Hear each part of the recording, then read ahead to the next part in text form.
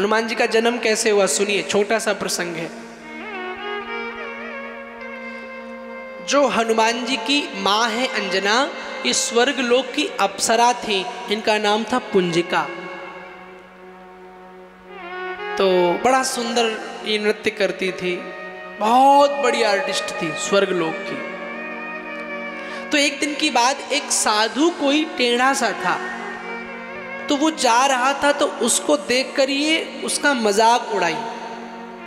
एक बात याद रखो, आप अच्छे हैं, अच्छी बात है, पर सिर्फ़ आप ही अच्छे हैं, सामने वाला बुरा है, ये बुरी बात है।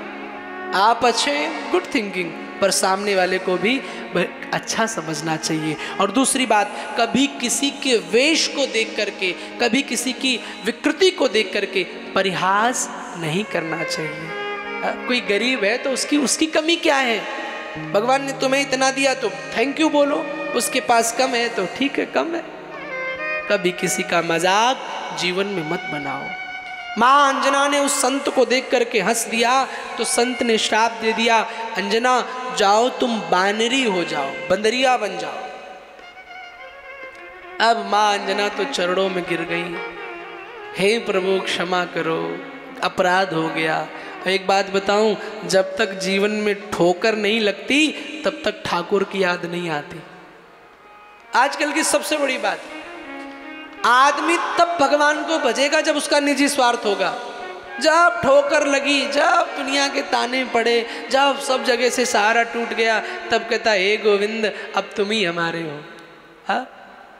जब जीवन अच्छा था, तब याद किया होता तो शायद ये बुरे दिन नहीं आते।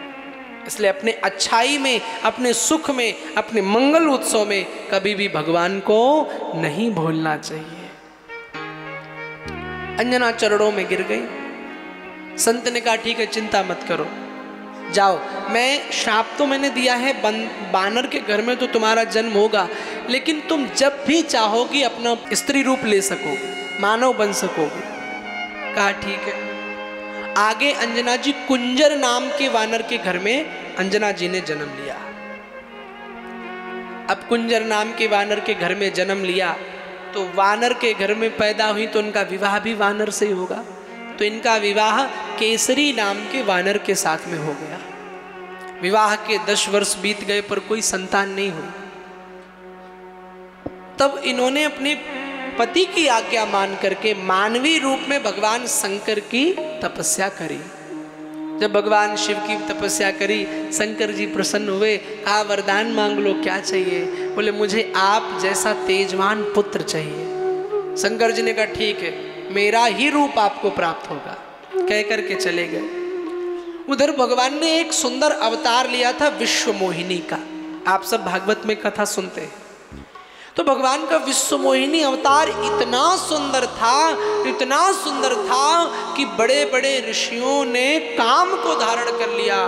बड़े बड़े ऋषियों का त्याग छूट गया बड़े बड़े संतों का मौन छूट गया। इतना सुंदर। और सच कहूँ, जब ठाकुर जी ऐसे ही इतने प्यारे लगते हैं, हा? जब बंसी बजा, बजाते हुए, धेनु चराते हुए, ऐसे सिंपल एक पीताम्बर ओढ़ लेते हैं। तब तो इतने प्यारे लगते हैं। और जब छोरा ते छोरी बने होंगे तो सच बताओ कितने सुंदर लगे होंगे। भगवान ने जब विश्व मोहिनी अवतार लिया तो सबने दर्शन किए, पर भगवान शंकर नहीं देख पाए थे। तो भगवान शंकर ने भगवान नारायण से निवेदन किया कि प्रभु, हम आपका विश्व मोहिनी वाला अवतार देखना चाहते हैं। तो भगवान विष्णु ने कहा, आप रहने दीजिए, काम के विजेता हैं आप। उस रूप को आप मत देखिए। बोले, नहीं नहीं, सरकार, चाहे कुछ भी हो जाए, हमें तो आपका वो दीदार करना है, वो झलक करनी है, और भक्त तो वही सबसे बड़ा है, जो अपने जीवन के अभाव में भी भगवान को खोज ले। भगवान तीन चीज़ों से मिलते हैं। या तो भगवान अभाव हो किसी रिश्ते संबंध का, तब भगवान को बना लो, तब भगवान मिल जाए। या तो आप बहुत बड़े भक्त हैं, आपका प्रभाव है भक्ति का, तब मिल जाए। और तीसरा, या तो आप में भाव हो, तब भगवान मिलते हैं। शंकर जी में भाव है। शंकर जी कहते आपका दर्शन करना, जीवन कुछ भी हो जाए। का ठीक है। अब भगवान ने लीला करी, बढ़िया जो एक सुंदर बगीचा बनाया। बगीचे में बड़े सुंदर सुंदर फूलों के पुष्प लगाए, बड़े सुंदर सुंदर पुष्पों के वृक्ष लगाए, बड़े सुंदर सुंदर फलों के वृक्ष लगाए और लगा करके अचानक भगवान गायब हुए नारायण और छम छमाती हुई विश्व मोहिनी का रूप लेकर के आ गए। आहा! शंकर जी ने ऐस जैसे सुंदर रूप देखा। शास्त्र तो कहता है, भगवान शंकर के संतान उत्पन्न करने वाला बीज पृथ्वी पर जा गिरा। भगवान शिव ऐसे अद्भुत रूप को देख करके, भगवान विष्णु के उस मोहिनी रूप को देख करके अपने आप को संभाल नहीं पाए, पागल हो गए आलिंगन करने के लिए, दौड़ पड़े भागते भागते क्या हुआ? वो लीला पूर्व निर्धारित थी कि भगवान शंकर का जो संतान उत्पन्न करने वाला शरीर में बीज था, वो नीचे गिरा और जैसे गिरा देवता आए और देवताओं ने उस कटोरी में उस बीज को लिया। भगवान शिव का वो अंश तो साधारण तो है नहीं। इसका क्या करें प्रभु? तो शंकर जी ने कहा, अब एक काम करो, अंजना तपस्या कर रही है। पवन देव को वो कटोरा दिया। कहा, जाओ कान के मार्ग से अंजना के गर्भ में ये मेरा अंश स्थापित कर दो।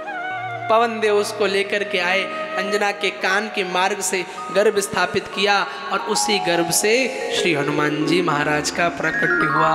बोल हनुमान जी महाराज की। तो हनुमान जी के तीन बाप कैसे?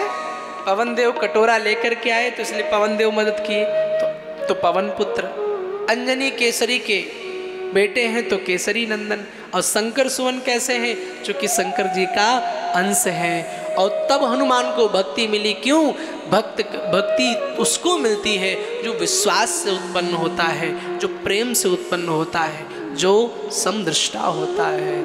एक बार बोलना पड़ेगा, जय श्री कृष्ण, राधे राधे।